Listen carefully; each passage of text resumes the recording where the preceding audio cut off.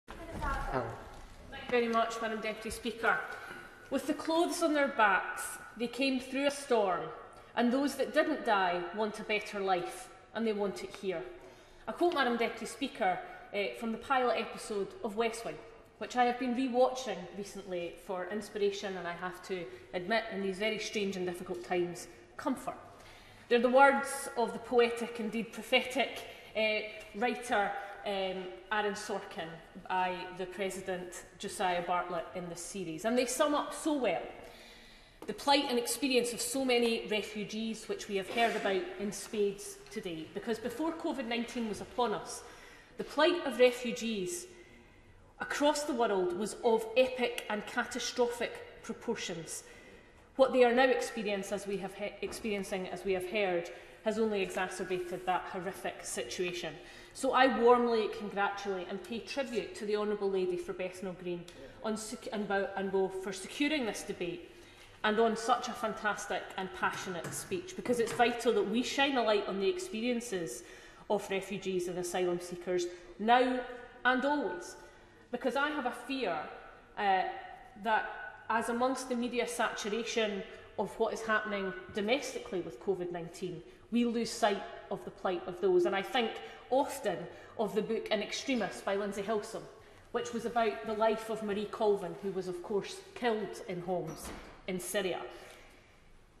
What the Honourable Lady from Bethnal Green and Bow talked about was bearing witness that she had gone to Burma, that she had gone to Syria, as members of this place should, and journalists should to bear witness to the experiences and report back and come home to do what we can to make their lives better.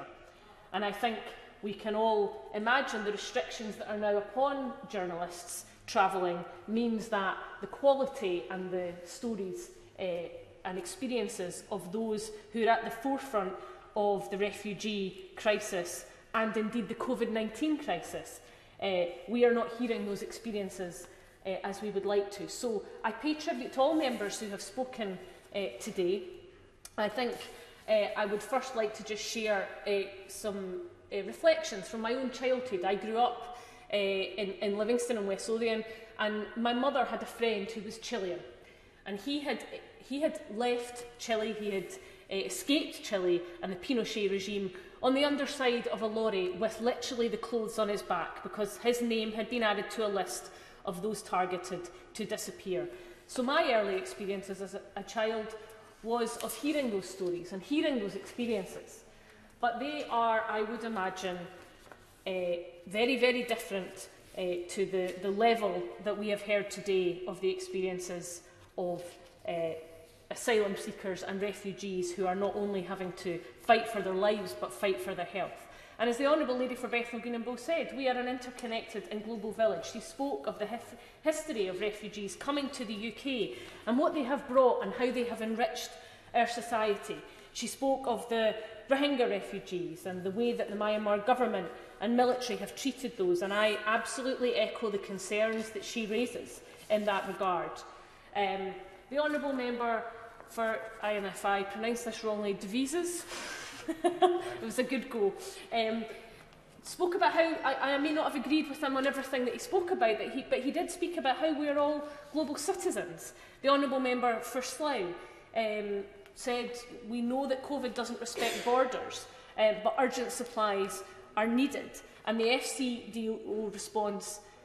isn't enough, and also referenced the merging of DFID and the FCO, which is a major error.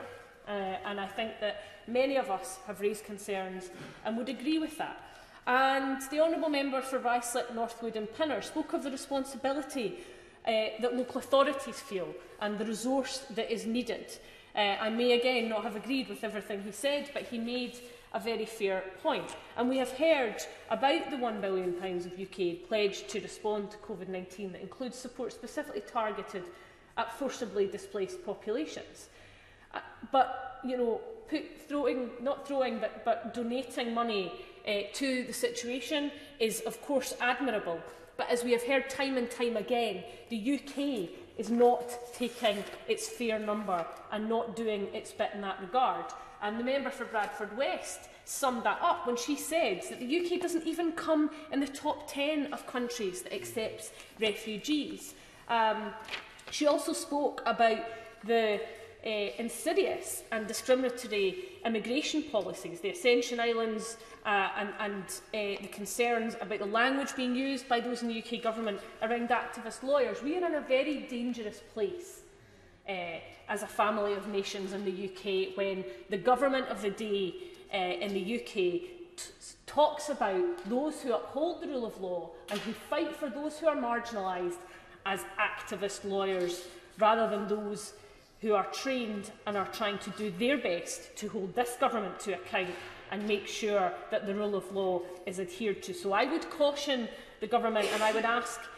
uh, the Minister to set the record straight on that. Um, the, the, the Honourable Member for Strangford talked about the vaccine and the concerns that he had about that. And I, I share his concerns. I, I have a company in my constituency, um, uh, Valneva, who, are, who have received UK government funding, which I advocated for strongly, and I ve was very pleased to hear that the UK government was not going to put all its eggs in one basket. Um, and this is something that you know I discussed with, with them when they were awarded that funding, and they hope uh, and are making huge progress. Um, but refugees are some of the most vulnerable, if not the most vulnerable people in the world. Um, and uh, you know, that we have to make sure that they are at the forefront of getting uh, those vaccinations. Of course, everybody uh, will, will need to get one and, and, and they will be prioritised appropriately. But it does concern me, and I know the Honourable Member for Strangford, that um, you know, those people who are most hard to reach uh, and most vulnerable um, will, will potentially be at the end of, of the queue. And, and I was struck as well by what the Honourable Lady for Canterbury said, um, because I had a line in my, in my own speech about the experience of refugees and the experience of asylum seekers that we in this country have a whole host of programs where very privileged folk are put through their paces in survival skills, whether it's I'm a celebrity, get me out of here, and I, you know, I, I mean no ill will to the program eh, or indeed those, in, those endeavors. But there is something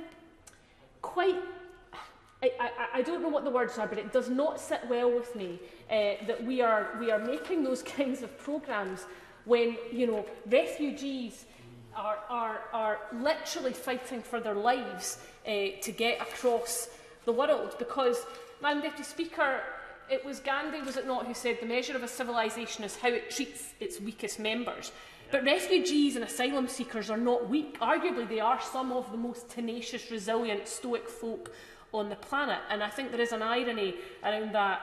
The, these TV programmes are made Now, it wouldn't be a surprise to Scots that our First Minister, Nicola Sturgeon, said the UK government can rest assured that any proposal to treat human beings like cattle in a holding pen will be met with the strongest possible opposition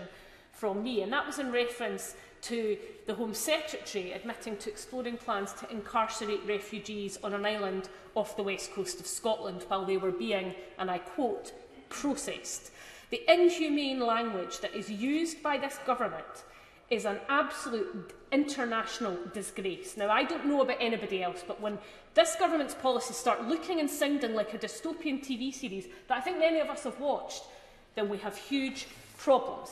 And in Scotland, Madam Deputy Speaker, um, we have, uh, we have uh, pursued um, a, a, a programme called the, the Guardianship Scheme, which one of my, uh, my MSP colleague uh, Angela Constance has spoken about passionately and, and had a debate on uh, just last week. For the past 10 years, Scotland has proudly run the Guardianship Service in conjunction with the Scottish Refugee Council and the Aberlour Child Care Trust. In those 10 years, 700 children from 38 countries speaking 40 different languages have been supported to rebuild their lives in Scotland across 29 local authority areas, the length and breadth of Scotland.